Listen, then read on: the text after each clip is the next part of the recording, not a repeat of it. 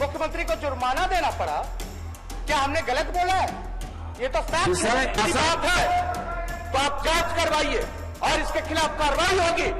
ये झूठ बोल रहा है। नमस्कार आप देख रहे नेशन न्यूज़। मैं हूँ आपके साथ ऋतिक। बिहार में विधानसभा चुनाव खत्म हो गया है। बिहार में एनडीए की सरकार बन गई है। नीतीश कुमार लगातार सातवीं बार मुख्यमंत्री बने हैं।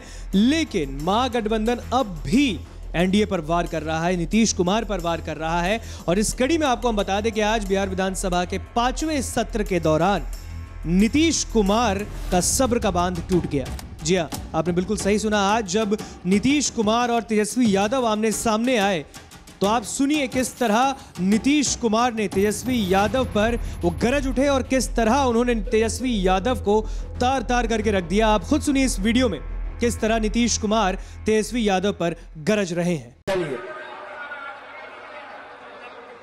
अध्यक्ष महोदय हमारी समय बढ़ाना पड़ेगा समय बताइए जल्दी। समय ठीक है। एक दिन और बढ़ा दिया जाएगा क्या ठीक है? ठीक बोलिए। गंभीर मसला है मुख्यमंत्री पे हत्या है तो आप जाँच करवाइए और इसके खिलाफ कार्रवाई होगी ये झूठ बोल रहा है। मैंने दिया था। दोस्त का बेटा है, इसलिए हम सुनते रहते हैं। हम नहीं कुछ बोलते हैं। और इसके इसके पिता को, इसके पिता को किसने बनवाया था? लोकदल में विधायक दल का नेता, ये पता है? इसको डिप्टी चीफ मिनिस्टर किसने बनाया था? और जब इस पर आरोप आया हमने कहा एक्सप्लेन करो। जब एक्सप्लेन नहीं किया, तब हमने छोड़ दिया और वो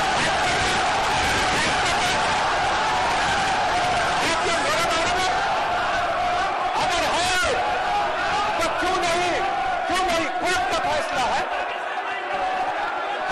नहीं कहा था। ये ये सारे लोग ये सारे लोग एक एक बात को जानते हैं। कौन नहीं जानता है?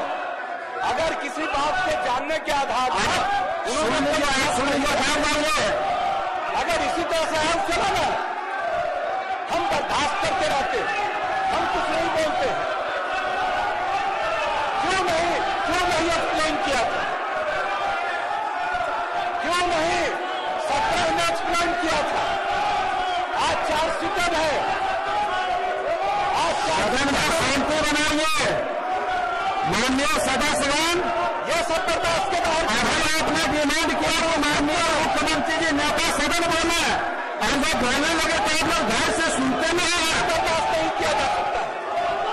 आप शांति से सुने यही वक्तव्य की मांग आपने कर रहे थे।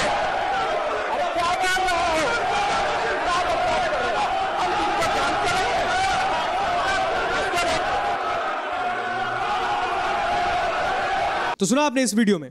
नीतीश कुमार किस तरह भड़क उठे तेजस्वी यादव पर? नेता प्रतिपक्ष तेजस्वी यादव के नीतीश कुमार पर हमला बोलने के दौरान आज सदन में नीतीश कुमार का सब्र का बाँध टूट गया और इस तरह, कुछ इस तरह उन्होंने तेजस्वी यादव पर झड़प उठे। तो फ़िलहाल के लिए मुझे दीजिए इजाज़त और देखते रहिए नेशन न्यूज़ को। धन्यवाद।